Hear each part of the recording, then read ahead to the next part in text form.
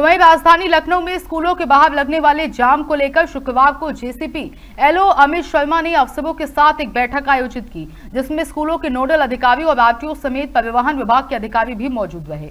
आयोजित बैठक के दौरान जेसीपी, एलओ, डीसीपी ट्रैफ़िक और एडीसीपी ट्रैफ़िक को स्कूलों के बाहर लग रहे जाम को लेकर आवश्यक निर्देश दिए। इसके साथ ही उन्होंने संबंधित गाइडलाइन का अनुपालन करने के भी निर्देश जारी किए।